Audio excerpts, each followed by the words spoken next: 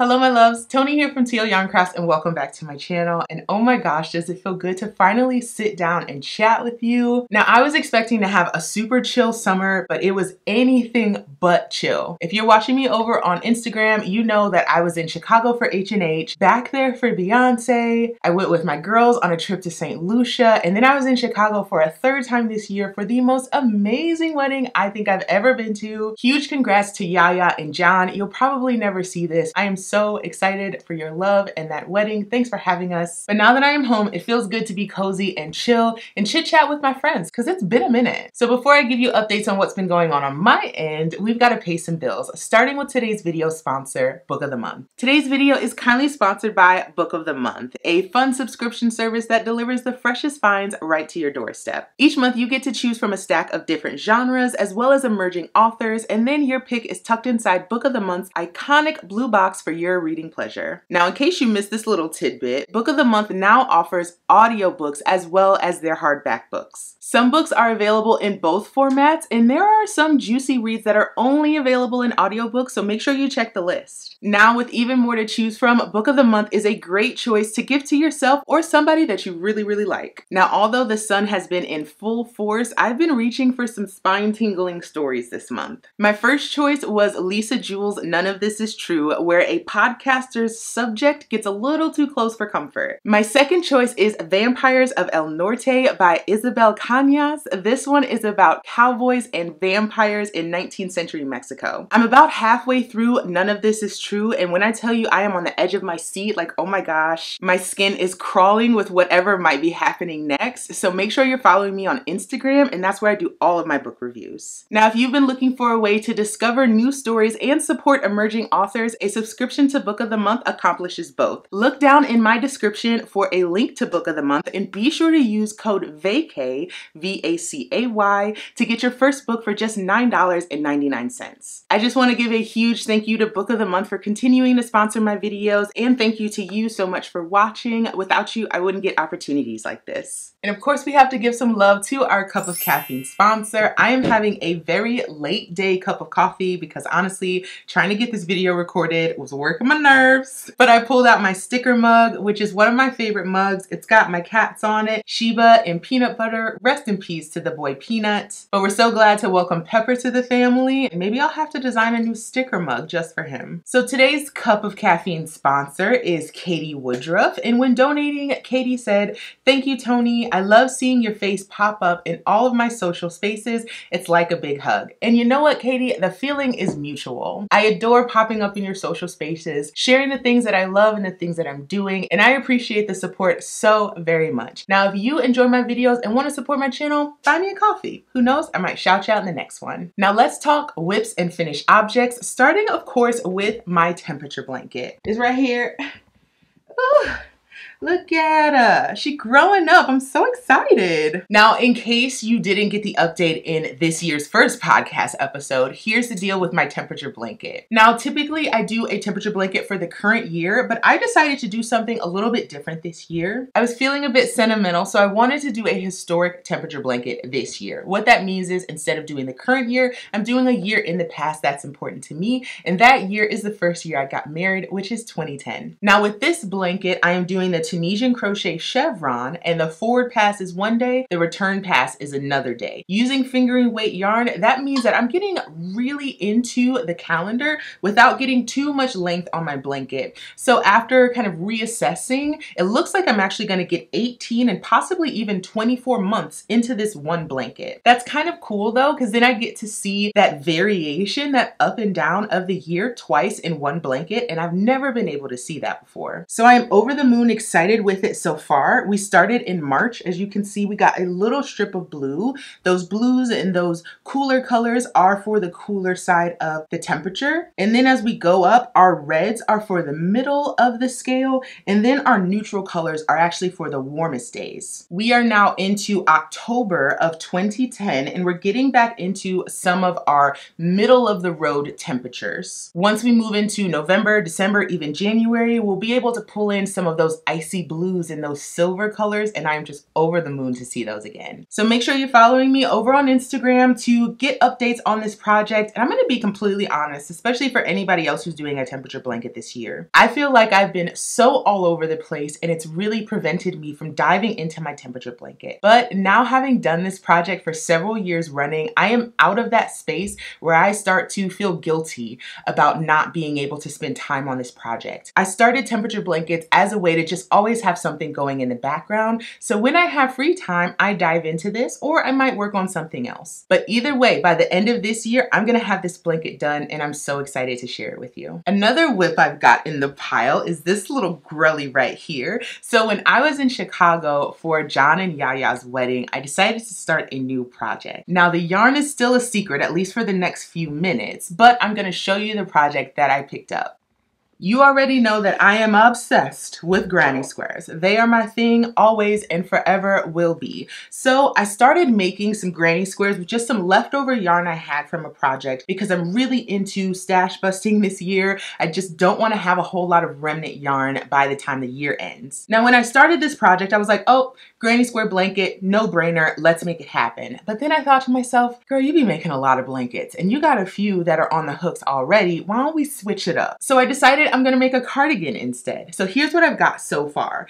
This is actually the front left panel. And then this opening is gonna be for the sleeve. Just think about it like that. And then this is getting a little crazy, but that's gonna be the back, right? Can you see the vision? You got this. Now what's fun about this project is it lets me use up my scraps, but in a very well thought out but random way. Let me explain it. When I do random squares like this, I like to go about it in kind of a more methodical way, just so that the randomness really does come through. So what I did is I went online and I looked up every iteration of the numbers one, two, three, four, and five. I think there's like well over a hundred of them and I need somewhere around like 60 squares for this project. So I I drew out my diagram, I numbered each square one through whatever it was, and then I went to that chart of every iteration of one through five and started plugging those in randomly for each of my squares. Now each of those numbers one through five corresponds with a group of colors. So instead of having an individual color for each number, I have a group. So I have a group of pinks, I have a group of yellows, I have a group of silvers. I do only have one blue and that was on purpose because I wanted there to be one color that kind of permeated this entire entire project. So you can see that nice denim blue in every single square. So the idea is that every color gets represented. It feels really random, but somehow still cohesive. So if you've been wanting to do a random type granny square project, there's an idea of how to go about it. I'm super excited about how this is coming together. I started this on Wednesday of last week and today is Monday, so you can see it's working up really fast. After the entire body is done, then I'll need to make the sleeves and figure out what I wanna do for the collar. I'm thinking like granny bomber jacket, but without a zipper. I don't know. We'll see how it shakes out, but I'll keep you posted. And last but not least, my absolute favorite finished object that I've done in a while is this sweater right here. Again, if you're not following me on Instagram, you're really missing out on a lot. So let me take you back a few weeks ago. Now, I have had tickets to the Beyonce concert for quite a while, but I had not planned out my outfit, and believe me, I see the error in my ways now. People put so much time, so much effort into these outfits. I was gonna have to come correct. Now, the Renaissance tour was really heavy on the fringe and the glitter and the silver. I do love a fringe moment. I love a bit of glitter, but silver is just really not my thing. So I was like, how can I have something that's kind of fun and flashy, but still representing me? And that's how I came up with this. This is the Mesh Me Up Raglan by Lauren of Just the Worsted. And it's a pattern that came out not too long ago, but it was on my my radar immediately. I love a raglan style, especially as somebody who hasn't made a ton of sweaters because it's just so easy to try it on as I go and make adjustments. So the basic formula of what I did here is I made the neckline just like they told me how to do in the pattern. But then as far as the yarn itself, they said to just use two colors and stripe it all the way down. And I'm like, I'm Tony, I can't just use two colors. I gotta use all the colors. And I had a whole bunch of this fingering weight yarn from Hobbii that was sitting in my stash. It's 100% cotton, which is perfect because we were gonna be outside in Chicago in July. If you don't know what any of that means, just know it was gonna be hot. So from there, I had this whole collection of yarns, pinks, oranges, yellows, creams, and I put them in random orders and just went round by round, changing color every single time. I put my seam in the back and I weaved in my ends as I went. Now, some other modifications that I did with my project outside of just using all the colors is I did make the bottom a little bit different. I made mine a little bit longer than what is recommended in the pattern and I also put this cute little picot border on the bottom. I don't know what it is about a picot, but I've been obsessed lately. And I also wanted to do something fun with the sleeve. Now in the original pattern, you just work the raglan like normal and when you split for the sleeves, you just kind of leave the sleeves there. Well, you know me, I gotta be extra. So I decided to extend the sleeve and I put this little like flutter bell on it. The original plan was to do a full bell sleeve, but I was like, girl, it's gonna be hot, chill. So I split the difference a little bit. Instead of doing like a shorter sleeve or a full bell sleeve, I did like a half sleeve with the picot edging on the bottom. One of the things that I appreciate so much about this pattern is how versatile it is. And if you've ever been wanting to make a sweater and you don't know where to start, a raglan is a great choice. Even if you just go straight off the pattern, you'll learn a lot as you go about sweater construction and how you like things to fit on your body. I've now made three raglans and I've got a pretty clear idea of how deep I need my sleeves to be, how long I want my sleeves to be, how long I want my body to be, how wide around I like it to be to make sure it's comfortable. And then also you have to consider that you're going to block your piece in the end. So you're gonna get a little bit larger dimension in just about every area. This was the sweater that fully solidified the fact that I love making clothes for myself. I used to be really hesitant about doing that just because I was generally self-conscious and a lot of that self-consciousness came from not knowing how things would turn out. I kind of ripped the band-aid off when I made my Rhinebeck sweater last year. I made another sweater later into the winter and this is now my third one. I'm dropping a link to this sweater pattern down in the description as well as a link to my project on Ravelry so you can see some additional photos of how this turned out. Next, let's move into a segment I like to call pattern Pattern Spotlight. This is a chance for me to dive into the TL Yarn Crafts pattern library to show you something you might not have seen yet. And today's Pattern Spotlight is the Rustic Rainbow Throw. It is my latest design that just came out and oh my gosh, Obsessed does not even cut it. So I designed this project with these sky-high triangle motifs that I found in this book right here. It's called Block by Block Crochet. Now I'm obsessed with motifs as it is, but this one looks at motifs from a completely different perspective. With Within this book, you get to play around with more solid motifs that use mostly double crochets, but also a good amount of color work to add some distinction and interest to all these different motifs. The first motif I use in this project is the isosceles triangle, so you can see that it gives us a triangle with a narrow base but a very long body. In addition to the isosceles triangle, I use the half isosceles triangle, and that's how I created the shorter triangles that go on the side to really be able to square out this blanket. Now this isn't just a bunch of motifs put together. You create the motifs sewn together and you create a set of panels and then you crochet those panels together and this is a completely no waste project because you use the leftover yarn to put fringe on either side of the blanket. I love this project because it's great for stash busting. Whatever you've had left over for a while that you want to put in a project, try the Rustic Rainbow Throw. The original pattern uses a wool alpaca mix, but this can be worked in anything. Cotton,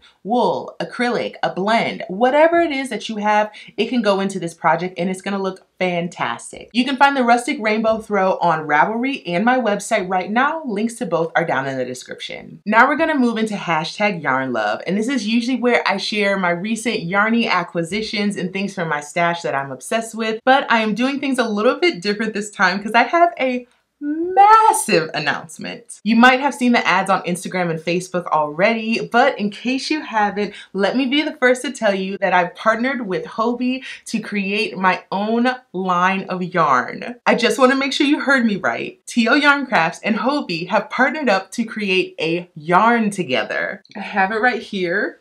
Mm. Friends, this is Happy Place. It is a half cotton, half wool DK weight yarn that I developed with Hobbii as well as my mom. I have to give her a massive shout out. Gwenny has been there from day one. My friends at Hobbii actually came to visit Detroit back around Christmas time. So I got to sit down with them and talk about, you know, if we were to come up with something together, what would that look like? And they took every single thing that I said and turned it into this yarn. And I have to tell you, she perfect. So let's take a closer look with this quick video that I made at our photo shoot.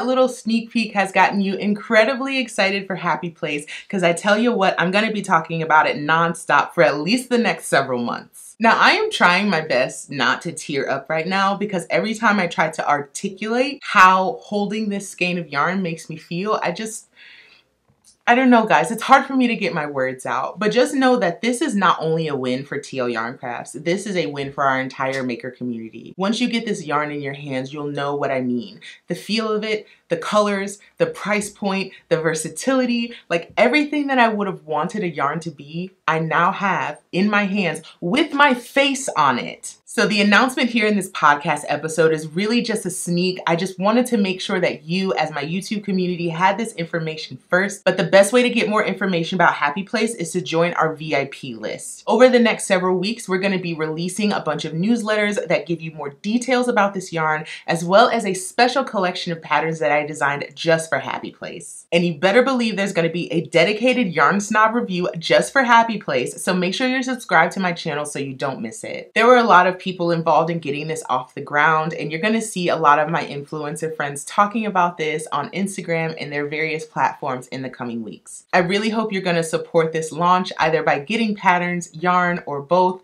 or even just sharing this information with friends and people that you think would want to know. So I'm going to stop talking about it because I can feel the, I can feel it coming. I can feel it.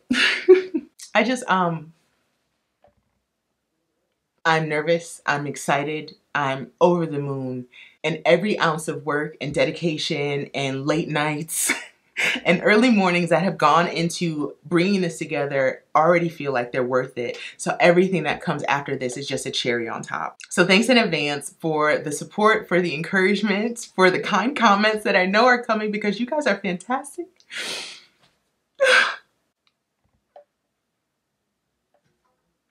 Oof. Whew.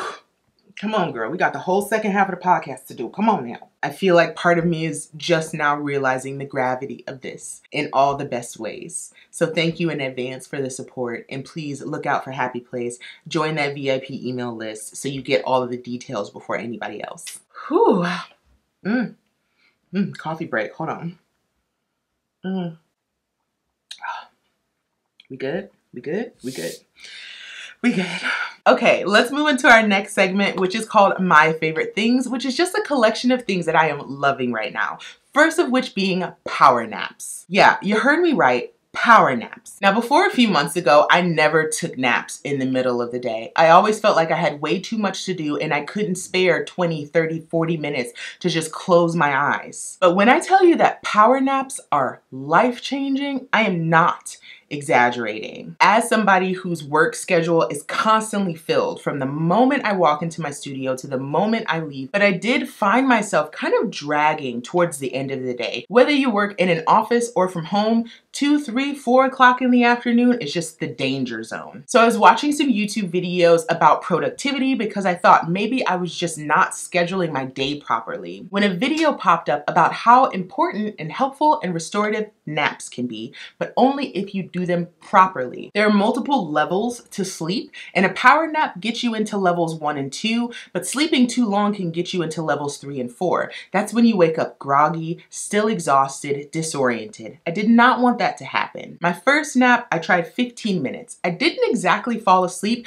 but I did put on my eye mask and my earplugs, and I just sat in my bed for 15 minutes. I can't really articulate how much clearer and refreshed I felt coming out of that experience, but just having that sense deprivation for a little while helped me kind of reset my brain and recharge myself to finish out the day strong. Now, as the days went on and I practiced this a little bit more, I found out that my sweet spot is 22 minutes with earplugs and an eye mask. I'm able to lay flat on my back, breathe slowly, relax every part of me, and I'm telling you, I'm falling asleep in about 30 seconds. I'm gonna link that video that I watched down below and I'm curious, do you do power naps and do you find that they're helpful? It's only been a couple months of practice for me, but I'm a fan. Another thing that I'm loving right now are these. These are the Tulip Etimo Reds. Now I recently did a review of these hooks because they're actually the hooks I use to stitch this sweater and I finished it in just six days. There's something about the rhythm of this smooth brushed metal going on here with this cotton yarn and it was like match made in heaven. I've got more detailed information in that review, including a test of these hooks with all three of the main yarn fibers. But for the sake of this podcast episode, let me say that these are the hooks I've been reaching for over and over again. Actually, that granny square cardigan I showed you a little while ago, I'm using these for it, and it's working up so incredibly fast. I am convinced that these hooks are the reason I've been able to fly through my projects lately. Now, these don't end up feeling a whole lot different than my Clover Amours, but one thing that I noticed is that the actual length of this hook head is longer, and I think it just gives me a better rhythm for the way that I personally crochet. Now, you can buy these hooks individually in a lot more sizes than what comes in this set, so I encourage you to take a look at Amazon, even Etsy and pick up one of these hooks to try out. And if you love them, grab the set. I've got individual hooks and the set linked down in the description. And lastly for this segment, another thing that I'm loving is something I just came across a couple of days ago. Now, I'm not typically a podcast person, but I needed something to listen to when I went to the grocery store, and I landed on a podcast called Sounds Like a Cult. Now, if you've been here for a while, you know that I am a massive true crime fan, but my favorite genre within true crime has to be cults. Something about the psychology of wanting to join a group for the sake of a common goal, but it actually being something completely different, like I am transfixed. I just finished watching the series How to Become a Cult Leader on Netflix because I watched How to Become a Tyrant before that. So I think I've just had cults on the brain. So I searched cults in Spotify and this podcast came up. The hosts are named Isa Medina and Amanda Montell. And what I appreciate about their podcast is they don't just look at classic cults. They look at the modern day institutions and communities that you could probably call a cult. Some of my favorite episodes so far have been the cult of the Peace Corps, the cult of RuPaul's Drag Race, and the cult of minimalism. So of course, now that I have cults on the brain, it made me think to myself, am I in a cult? Like I am low-key obsessed with crochet and the entire community around it. And I'm wondering, are the yarn arts, is Fibercraft a cult. On a scale of 1 to 10, would I consider the crochet community culty? I'd probably put us at about a 3. We get really fanatical, we get really excited about what we do, but it's a live and let live situation. You can have your energy on 10 about yarn or your energy on 2, and we welcome all of that. But I am curious, do you believe that crochet specifically is a cult? I am so excited to read the comments on this because when I talked to a friend about this, she said absolutely it's a cult. I think from the outside looking in, it feels culty, but in here, it's real comfy cozy. We good here. Now we'll get into one of my favorite segments called Open Floor. And this is when the floor is open to any topic related to the yarn small business, or honestly anything else I know two things about. So I asked my friends on Instagram if I could do a open floor topic on anything, what would you like it to be? And the overwhelming majority of people said do an open floor on plagiarism versus inspiration. Now this is an age old conversation we've been having here in the crochet community because with so many aspiring and emerging designers, it's easy to find overlap between their new patterns and some of the more established that are in our community. And while the line between plagiarism and inspiration can still be a little blurry, there are some simple tools that you can use to make sure your newest design is actually original. Now, let me give a little disclaimer here. I am not a lawyer. I do not work in the legal profession, and I am not here to offer advice on how to copyright or otherwise protect your work. I am a girl on the internet who's been designing patterns for a few years and might know a thing or two. I think the perfect place to start with this conversation is an understanding of the definitions between plagiarism and inspiration from an artistic point of view. The definition of plagiarism is cut and dry and it applies in any field. Essentially, plagiarism is taking somebody else's work and passing it off as your own. It's ripping that work off with no original thought or ideas and hoping upon hope that nobody catches you. And it also includes this idea of taking somebody's work without their permission. Now, on the other hand, inspiration involves drawing on that enthusiasm that you had by experiencing that piece of work and using that enthusiasm to generate new ideas. As a crochet designer, that could mean borrowing a color palette, borrowing a technique, borrowing a stitch that you saw in a project. Think about it like this. Inspiration is the launching pad for you to engage your own design style and ideas. So next I'm gonna give you just a few tips to make sure the design that you have in mind is actually original. And to be clear, I am borrowing some ideas from a blog post written by Courtney of I Love Tinderbox. I'm gonna have that blog post linked down in the description. My first piece of advice is to draw inspiration from somewhere outside of the maker community. If you're getting inspired for your next design by looking just on Crochet Pinterest or on Ravelry, you're looking in the wrong place. Consider going outside of the community, right? Maybe you're inspired by architecture. Maybe you're inspired by color. Maybe you're inspired by music. Maybe you're inspired by clothing in your own closet. Whatever you decide to be inspired by, make sure it's not just other designers. One of my favorite places to draw inspiration is from the trend reports that Alexandra of Two of Wands puts out for the fall, winter, and spring summer lines in the fashion industry. She finds trends across all of these different designers and shares them on Instagram through a series of stories. It's such a massive lift and so much work to be able to pull together these threads that follow throughout the entire fashion industry, but Alexandra does it for us. Consider going to her story highlights to see what the latest trends were and consider how you can use your own design style and perspective to bring those trends to life. My next tip to make sure you're designing original patterns is to combine your inspiration with your personal design style. That can involve making some kind of inspirational archive that you can take a look at anytime you're working up a new design. That might involve making several Pinterest boards so you can pull together different aspects of the design. Just note that if you're going to use inspiration, that inspiration should have more than one data point. If you're choosing one piece as your inspiration, it's likely you're in the danger zone of copying. So keep that inspiration varied, okay? And lastly, make sure you're bringing something unique to the design. And if it's truly unique, you should be able to speak to it. What about your perspective distinguishes this project from something else that we saw on Ravelry? Consider how your project stands apart and how you can speak to the unique nature of that piece. Now let me be clear, copying is not all bad. Before you start calling yourself a designer, you were probably a maker working off of patterns, which are really the blueprint of how these pieces are constructed. But once you take that leap into becoming a designer, you need to have your personal perspective and understand that copying is just just not okay. I think about it like this. I keep my eyes and ears open to inspiration wherever I go. I collect inspiration like souvenirs of my personal life experience. I take photos, I build Pinterest boards. I take all of that inspiration and filter it through my artistic vision to make sure what comes out the other side is distinctly TL Yarn Crafts. Just know that pattern design is not for everyone and you don't have to become a designer to make waves within this community. What I love is following accounts of people who just make gorgeous projects, who pull together color palettes that I never would have thought of, who detail their projects on blogs or Ravelry so I can see what their unique perspective looks like if I wanted to dive into that project myself. There's not a whole lot new under the sun when it comes to yarn crafts.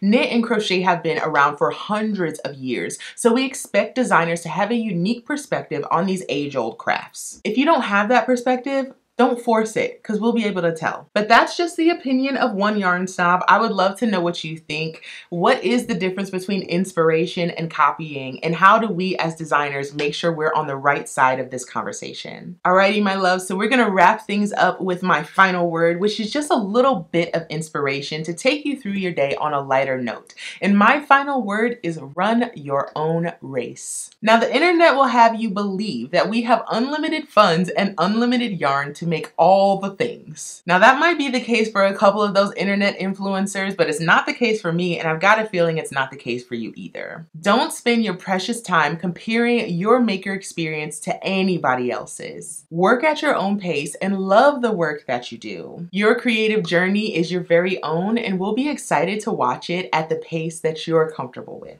Alrighty, my loves, I'm gonna call it good today, but thank you so much for watching. Thanks again to Book of the Month for sponsoring this video, and I can't wait to read your comments on all of the topics we covered in today's podcast. I hope you have a fabulous day. Hugs and kisses, my loves, and I will see you next time. Bye.